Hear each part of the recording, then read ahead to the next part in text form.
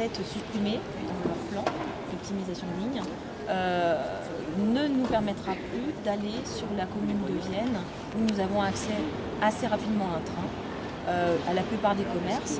Donc ça, c'est la première ligne gravement touchée, qui est quand même assez historique. Euh, là, on va être aussi très touché, c'est que du coup, sur la 134, il n'y aurait plus de transport le week-end, donc plus de transport du tout dans nos communes. Et en vacances scolaires, ça va être ultra allégé. On nous parle d'un aller le matin, un retour le soir. Donc alors, pour trouver le bon transport pour rentrer le soir, ça va être un peu la catastrophe. Et comment donc euh, les usagers prennent cette nouvelle? Vous avez eu les moyens de mobiliser? Alors nous, ce qu'on a fait, c'est qu'on a déjà sensibilisé euh, les usagers, les informés pour commencer, euh, de l'évolution des événements.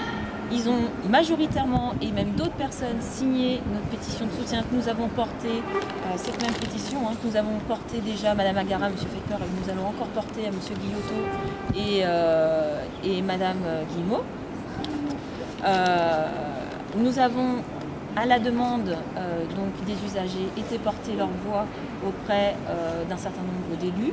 Euh, notamment, nous avons été sensibiliser les maires, euh, voire des conseillers départementaux, pour essayer de trouver des solutions et faire des propositions, parce que nous étions bien conscients que les élus n'étaient pas forcément informés de tout ce qui se passait sur le terrain.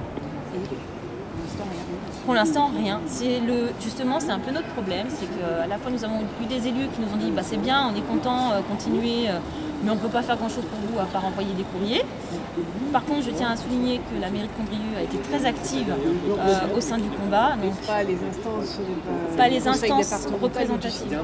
Euh, les membres du CITRAL, il y en a certains qui soutiennent également, qui, se, qui, estiment que ce n'est pas une décision adaptée. Parce que tout simplement, cette décision n'est pas adaptée parce que euh, on ne parle pas d'une réelle optimisation, on parle d'une coupe budgétaire. Moi, je le traduis comme ça, euh, sans avoir une vraie réflexion d'optimisation réelle, de supprimer des doublons, d'adapter. Euh, c'est un allègement pur et simple et des suppressions pures et simples. enfin même suppression, parce que nous serions la seule ligne concernée au final. maintenant, il, va y avoir en plus ce transfert auprès de la région à partir du 1er janvier 2017, où on pourrait fusionner des enveloppes et des lignes faire des économies, mais en plus où les usagers auraient des transports. Le problème, c'est qu'on va avoir bientôt des cartes de la Loire qui vont passer dans nos communes et on ne pourra pas monter dedans parce qu'en plus, il n'y a pas de ticket unique qui existe. On n'aura plus de transport le week-end.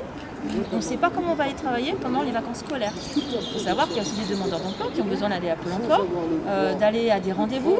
On a besoin d'aller chez le médecin. Le seul hôpital le plus proche est à Vienne. Si on n'a plus de transport pour aller voir notre famille, nos amis consulter, ça veut dire prendre un taxi à 30 euros. C'est le d'un abonnement euh, mensuel ça n'a plus de sens.